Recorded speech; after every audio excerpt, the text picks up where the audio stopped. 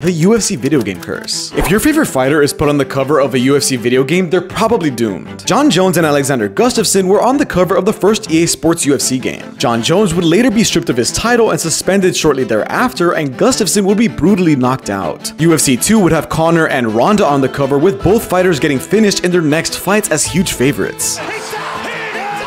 UFC 3 would feature Conor McGregor as double champ who would get finished by Khabib in his next fight.